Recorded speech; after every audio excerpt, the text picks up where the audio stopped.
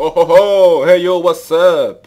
C'est Damwalk et je suis euh, très heureux, very happy, de vous accueillir pour cette troisième game du Best of 5 de la finale de la Zotac 234.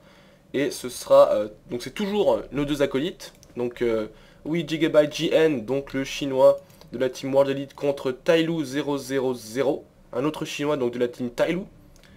Et euh, du coup, ils sont sur île Echo, donc c'est une petite, euh, petite carte euh, de 1 contre 1, donc ils savent où ils sont. Et on peut voir directement le milicien qui va scouter la base de Tailu, le puits de lune et l'ancienne la guerre, donc ils sont hors du camp de Tailu, donc l'ancienne la guerre qui est proche des creeps pour creeper très très vite. La caserne, l'hôtel des rois et la ferme lancée de la part de JN, donc ça c'est le build standard. Et du coup là on voit quand même qu'il lance pas on va voir juste envie de voir un petit peu euh, ses ressources. Voilà, donc il a assez de ressources pour lancer son, euh, son hôtel des aïeux, mais il ne le fait pas. Et qu'est-ce que ça veut dire? Qu'est-ce que ça veut dire qu'il ne lance pas son hôtel des aïeux d'après vous? Ah ah, bah moi je vais vous le dire. C'est parce qu'il va partir sur euh, un héros neutre dès le début. Donc il, peut réduire, enfin pas réduire mais lancer son hôtel des aïeux un petit peu late. Voilà, on peut le voir qu'il le lance seulement quand l'ancienne la guerre se finit donc la première archère qui va sortir. Et en tout cas, on peut voir que JN, eh ben, il a vu le late hôtel des aïeux. Donc euh, il lance sa ferme pour, euh, pour pouvoir scouter, hein, même quand son paysan ne sera plus là. L'archimage qui est lancé de la part de JN, du coup, là il va peut-être se dire, j'ai euh, peut-être combien de temps là J'ai allez, j'ai peut-être 30, 40 secondes de creep en avance sur Tailu. Donc il faut que je les mette le plus possible à profit et du coup, il va, il va partir sur un archimage, donc en premier héros qui est euh, le héros euh, qui peut creeper le plus rapidement avec son élémentaire d'eau. Et euh, en attendant, bah, on peut voir un petit peu les archères qui s'amassent. Donc là, c'est pas, pas une erreur de Tailou, il va pas commencer à creeper parce qu'il n'a pas de héros, donc ça sert absolument à rien. Et du coup, qu'est-ce qu'on a là? On peut voir le, le, feu follet donc, qui est près de la taverne, donc c'est pour prendre le héros. Et du coup, le footman qui essaie de tuer le feu follet parce que si vous arrivez à tuer le feu follet avant qu'elle ne prenne le héros, et eh bah c'est une grosse perte. Le panda qui est pris, du coup ça va être euh, encore le héros le plus cheaté du jeu qui est pris par Tailu. Donc bon, on pourra peut-être lui reprocher de prendre toujours ce héros. Le Breeze of Fire qui est pris, du coup il va venir directement ici pour faire du Creep Jack. Eh, ça, pourrait faire beaucoup de dégâts là du coup, hein, le, souffle de feu. Euh, le, feu follet qui, euh, explose donc pour réduire le mana du, du, sorcier. Attention, attention, le souffle de feu là sur, tous les, sur miliciens, ça pourrait faire beaucoup de dégâts. Oh non, il s'enfuit si le souffle de feu. Beaucoup de dégâts sur les paysans. Et en plus, est-ce qu'il va peut-être il va peut-être en perdre un avec, euh, non, avec les creeps? Non, ça ira. Il arrive à les sauver. Et du coup, est-ce qu'il a, il commence à avoir beaucoup d'archers là? Il va commencer son creeping. Seulement maintenant, le footman qui vient poker un petit peu les feux follets. La ferme qui est toujours là donc pour, euh, pour scouter. Et on a un gros WTV. What the fuck? Je sais pas ce que c'est. Donc, euh, Monsieur est aussi un petit peu surpris euh, du build de Tailu, donc qui est parti pour le, euh, euh, un, héros neutre dès le début. On peut voir le mercenaire qui est pris, donc un, prêtre dès le début de la partie, ça c'est une grosse unité, une très bonne unité. Il a tenté le, le creep, de s'aider un petit peu avec les creeps Tailu, mais bon ça n'a pas été très successful. Il s'est même fait reboot, complètement reboot. Et donc le Pilule, donc ouais bon, le fantassin il peut taper dessus pendant des jours et des nuits. Hein. Ça, ça fera pas grand chose. Euh, qui continue à creeper, il a toujours pas fini, attention peut-être euh, il va peut-être euh, essayer de style ce creep avec son fantassin, je suis pas sûr qu'il ait, réussi à le faire. En tout cas, le talisman d'esquive qui va être récupéré sur le panda. Il a pris une botte de vitesse et un bâton téléportation. Du coup, il pourra sauver son héros sans être... Euh, enfin, sans utiliser le parchemin de portée de ville. Donc ça, c'est un bon item, très bon item. Et on a l'aura de brillance qui est pris en second, second sort. Donc là, c'est c'est du classique, mais il a un fétiche de vitalité. Fétiche de vitalité.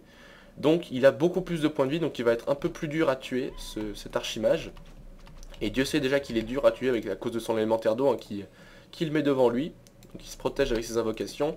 On n'a pas de T2 lancé de la part de Tailu, donc il va partir sur une agression très vite. Il lance un autre arbre de vie, donc il va partir euh, sur une B2. Euh, donc il part un petit peu plus sur une, sur une macro game, comme diraient les, joueurs de StarCraft, donc sur une partie un peu plus longue, avec un peu plus d'économie. Euh, le creeping, du coup on peut voir hein, le long distance euh, creeping, donc l'archimage qui est un peu, un peu plus loin, mais qui reçoit quand même les, euh, les comment s'appelle, l'XP des mobs. le Jack de JN sur Tailou, mais bon Tailou là, il a il a le il a l'ivresse, le Breath of Fire, attention de ne pas se faire prendre son héros là. Il pourrait se faire prendre son héros avec le, combo.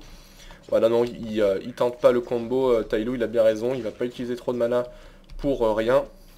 Et en tout cas il a une griffe d'attaque plus 6. Donc ça c'est un très très gros item. Hein. Euh, les griffes d'attaque plus 6 et les, euh, euh, items qui donnent de l'intelligence, c'est les meilleurs items que vous pouvez avoir en 1v1. Et on peut voir l'ancienne émerveille donc, qui a été scouté par la... Et le, T2 donc qui a été scouté par la ferme de JN. Il aurait peut-être pu la détruire quand même cette ferme. La B2 qui est lancée de la part de JN donc ici. Peut-être le gros, gros souffle de feu donc sur les tours des arcs, donc sur les tours en construction.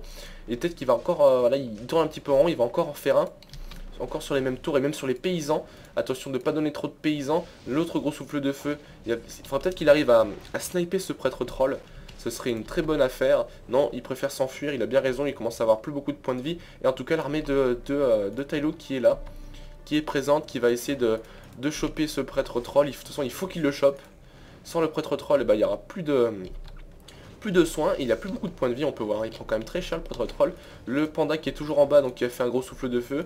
Et, euh, le, et euh, peut-être que là, il va... Attention de pas donner son. Héros là, mais qu'est-ce qu'il nous fait là, JN Il l'a envoyé tout seul, attention, attention, oh, le gros souffle de feu, 6 points de vie, faut qu'il le sauve, non c'est bon, il a, réussi avec 9 points de vie à le sauver, faut pas qu'il revienne dans la mêlée, surtout pas, et JN qui lance le GG. Alors GG un petit peu incompréhensible, là, je pense que... Ouais, je pense qu'il était justifié, mais, euh, mais moi je le comprends pas vraiment, parce qu'il avait encore son parchemin de portée de ville, et il était pas si mal que ça, il avait quand même sa bête 2 qui se lançait... Ouais, en plus, on peut voir au niveau des scores, le score d'unité c'était exactement le même. Ça, c'est assez rare hein, dans, du Warcraft 3. Les scores de ressources c'était pratiquement pareil, donc c'était un score très très proche. Du coup, euh, JN qui s'incline pour la troisième fois. Ouais, bon, c'est un petit spoil si vous n'avez pas vu les premières et deuxièmes games, mais en tout cas, il s'incline pour la troisième fois. Du coup, le best of 5 est terminé. Tailou qui s'impose dans cette Zotac 234. Euh, donc, il nous a quand même... Euh, développé un, jeu de très très haut niveau. Il a littéralement euh, bouffé le cerveau de JN. Il a souvent, euh, ouais, souvent, il a souvent euh, pris l'avantage hein, grâce à son, panda, ça faut quand même l'avouer. Mais bon, c'était quand même très bien joué de sa part. Et du coup, JN qui s'incline devant son compatriote chinois. Voilà, donc c'était le premier Best of Fight, donc la première finale d'une Zotac que je, veux, que je vous commande. J'espère que ça vous aura plu. Euh, j'essaie encore de m'améliorer au niveau de la voix, hein, si vous l'avez euh, pas encore remarqué. Euh, je remercie tous ceux qui commentent, qui aiment, qui s'abonnent à ma chaîne. Je trouve ça très très sympathique de votre part parce que ça m'encourage encore plus, ça me motive encore plus à continuer les commentaires de Warcraft 3 qui sont malheureusement pas assez présents sur YouTube pour l'instant. J'espère que ça va changer. Et du coup, je vous remercie grandement d'avoir regardé ces trois parties avec moi. J'espère que ça vous aura plu. En tout cas, moi, c'était c'était super. Et du coup, je vous dis la prochaine fois. Allez, ciao